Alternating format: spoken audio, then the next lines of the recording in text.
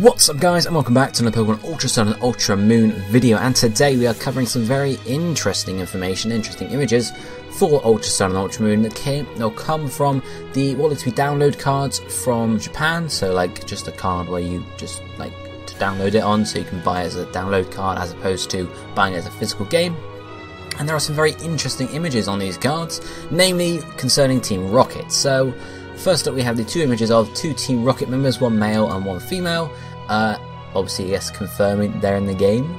If this is real, I, I guess this is real. Um, and the other thing to go along with that is this image here of the Team Rocket hideout, uh, which you can see as Team Rocket hideout by having the R logo on the front of it. Now, the interesting thing to point out here is the fact that the battle background as well as the logo is a rainbow colour, uh, which is obviously uh, we, we, means we can refer to them as rainbow rockets. Um, now it's interesting that they have this rainbow colouring on both the background and the logo, which means it's not just just for that. It's a new colouring for them, um, which is actually really interesting, and who knows exactly what it'll mean. But it links back to a leak or to some form of leak that was supposed to have came out on 4chan, classic 4chan, um, before Ultra Sun and Ultra Moon were even actually announced. Um, and this was a leak that the guy, when he actually mentioned USUM as the, as the sort of the logo or the um, acronym for the games, uh, he mentioned a few things like uh, forms, so that's obviously come true now. And he also mentioned, I think, RR or something like that, which could be Rainbow Rocket. Now, there's a few other things in that, in that leak. I may go and cover that in a separate video, talking about the rest of the things that they were mentioning, and whether those could actually be true. But for the moment, it, it seems to line up with this at least so far, and Centre have disproved it. That leak does also mention new Alolan forms uh, and stuff like that, so maybe that will be the case, but who knows.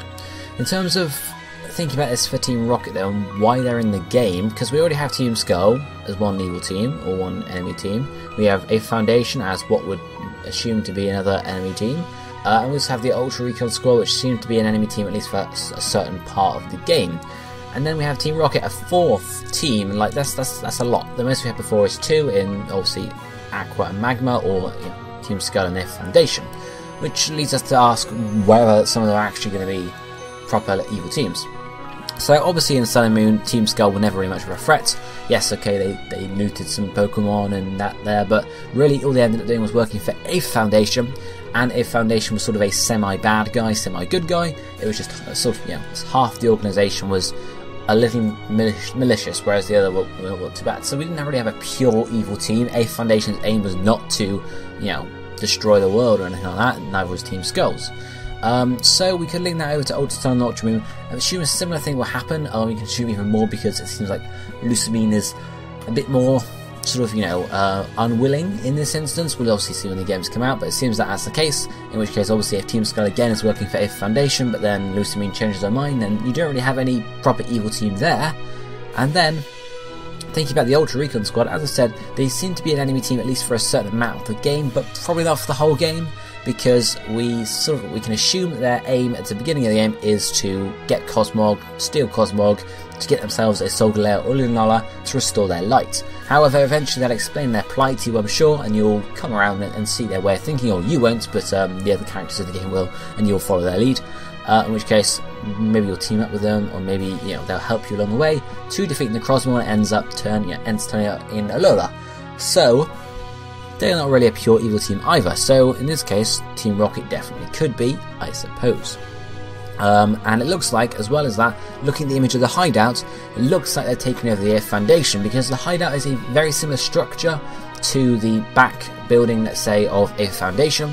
So we could possibly think about it rather than uh, a foundation being a null and void enemy team. They could be, you know, being controlled from behind by Team Rocket, and maybe that would link in there. That's one possibility at least. Uh, apart from you know the foundation, None of the locations in the game really fit that, unless you think of maybe somewhere in Po Town, but Aether Foundation fits the best. So we can assume they've got some link to Aether Foundation, maybe they've taken over it, they're operating from the inside, but in which case, why would there be the, the, the logo on the front? That's a bit sort of on the nose. So maybe it's something that's revealed later on in the game. Maybe it's just um, maybe they take over the Foundation as part of the post game. There could be something like that. But their appearance on the sort of box art or the download code does indicate that maybe it's a main story plot uh, and maybe they want to capture Necrozma for their own, or capture Solgaleo and Lunala for their own, something like that. We've never really seen Team Rocket do much apart from steal some, you know, low-level Pokemon in Red, Blue, Yellow, and Fire and Leaf Green. All they did was steal low-level Pokemon, take over Silph Nothing too amazing there. They've never sort of gone after a legendary. Of course, they have in the anime, but not in the games. So maybe that would be where they come in this time and, and maybe go from there. Who knows? As I mentioned, I will talk more about that leak in a separate video, most likely to go over the other things that mentioned uh, and maybe see if those could be true as well. Uh, but apart from that, the only thing to highlight on this download code, or these download codes, because there's two, uh, is one that you see Hala facing off against UB Burst and UB Assembly, which indicates that those two Ultra Beasts will indeed be the ones attacking Melemele Island at some point, which I, I purported in a previous trailer video. Uh, so that seems to confirm that, rather than Buzzwole and Pheromosa, because of course just giving the new, new UBs some light. But let me know down below in the comment section what you guys think of this. Do you think Rainbow Rocket is a thing? Or, yeah, I, am assuming this is legit because it's on Serebii. It's been there for a few days now. Um, but what do you think of Team Rocket being in the games? Are you excited? Do you think it's just too much Gen 1 yet again? Too many Gen 1 little forms? Too much Gen 1 pandering? You know, let me know your views on that. Uh, and either way, let me know what part that you think they will play in the games. Will they be the, sort of the actual enemy team? Are they post game? Are they just something to you know trip you up along the way. Let me know down below in the comment section what you think. But that will be it for me for today. So I shall see you next time. Thank you for watching. Goodbye, my friends.